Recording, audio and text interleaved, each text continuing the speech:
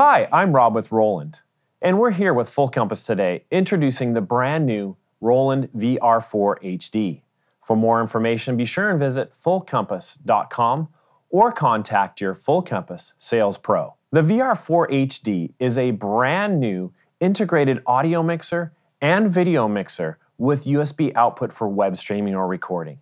So I'm going to show you some of the built-in features of the VR4 HD. You have your four channels of video, so video source one, two, three, and four, plus you have your audio mixer built into it. So the first eight channels are for analog audio coming from either microphone input sources. Um, we also have some connections on the back as well. We also have additional eight channels or four stereo channels coming from each HDMI source. Cool thing about the VR4 HD is it's got four HDMI inputs. The inputs 1, 2, and 3 can either be 1080i, 1080p, or 720p. And the fourth input it has full scaling on it, so I can bring in a standard definition resolution all the way up to an HD full 1080p resolution. So it allows me to mix and match with my other video sources. Okay, so let's talk a little bit about the interface. All I have to do is press the System Setup button, and now I can go into my menu here, which touchscreen. So, uh, so as I mentioned, Video Input 4 has full scaling. So if I tap on Video Input 4, you can see I'm at 1080p resolution. What type of scaling do I have? Do I want to do full? Or do I want to do letterboxing or cropping, etc., etc.? And I can also change the horizontal position, and I can also zoom the horizontal size and the vertical position as well. So very nice for bringing in uh, different types of video resolution formats in Input 4. Transitions. So let's talk about transitions. You can do standard mix patterns. So right now I have set up Mosaic, but I can do a NAM, a FAM, or just a standard mix. Let me show you what the standard mix looks like. This button right here is my, um, my dissolve time. So if I want to switch between input 1 and input 2, you can see um, it does a nice cross dissolve. Um, I can also go in and do straight cut switching. So if I hit that button cut, I can do straight cuts, and I can also do wipes too. You can see this is the wipe pattern I currently have selected, so I can switch between uh, the two different video sources just using a standard wipe. If I tap that button and I go down to my wipe pattern, I can now scroll through and you can see all the various different wipe patterns that I have to choose from. So lots of different options there.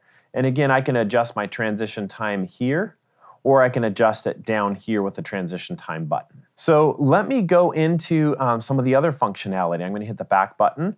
Um, we also have picture-in-picture capabilities. So you can either do a quarter picture-in-picture or you can do a half picture-in-picture.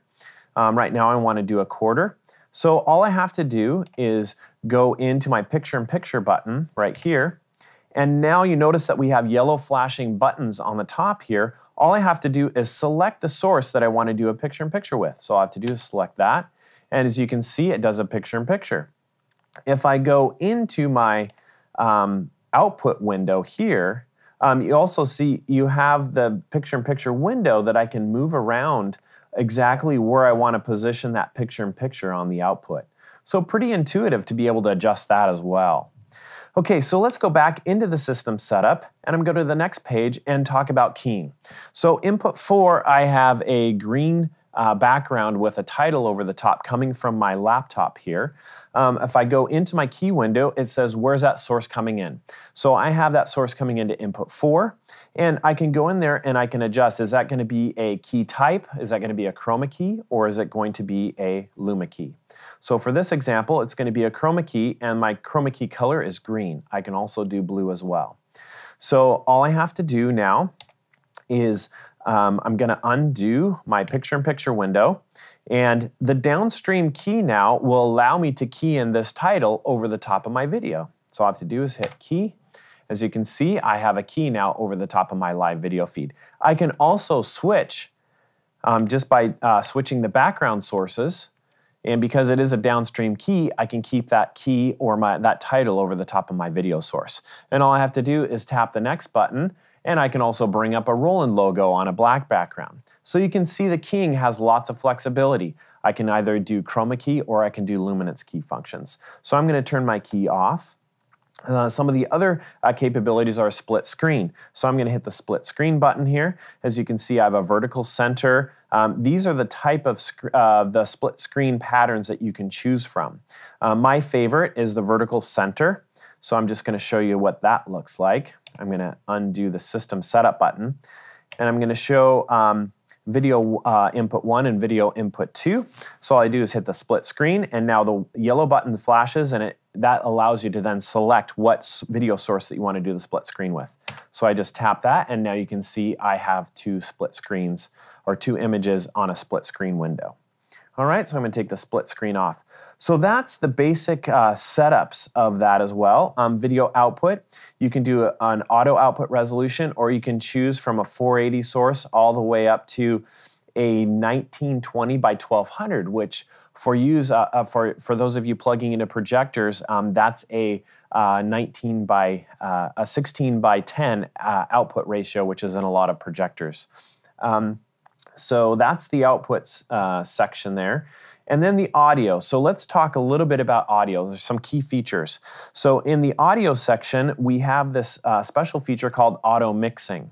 So auto mixing, what that allows you to do is it allows you, let's say you're doing a, um, a panel discussion and you have multiple microphones, you have one moderator that you want to have the audio level just slightly above everybody else. So I go into my audio mixing section, or auto mixing section, and so here's my physical inputs down at the bottom. So channels one, two, three, and four. So notice that channel two, that might be my moderator, uh, the, uh, the weighting is now set at 80 and the others are at 60. So when the moderator starts talking, the audio level's a little bit higher. So that's how you set that up. Um, the other thing too is we have echo, echo canceling. So you can um, set up echo canceling so that you don't get feedback. And it's really great, especially if you're bringing in someone from Skype calls or things like that. Um, the echo canceling allows you to bring audio in and send audio back through the USB port without having uh, feedback, that type of thing. Let's talk a little bit about the audio setup. There's some awesome mic preamps built into the VR4 HD. For instance, uh, mic input one on the side, I just hit the setup button. You can go in here and change the, the, um, the gain and the level. All I have to do is then adjust uh, using the value dial. And you also have EQs, uh, a gate, um, and compressor as well. So lots and lots of awesome features built into the uh, VR4 HD for audio, so audio for video. The VR4 HD is an integrated audio mixer and a video mixer with USB output for web streaming or recording. For more information, be sure to visit fullcompass.com or contact your Full Compass sales pro.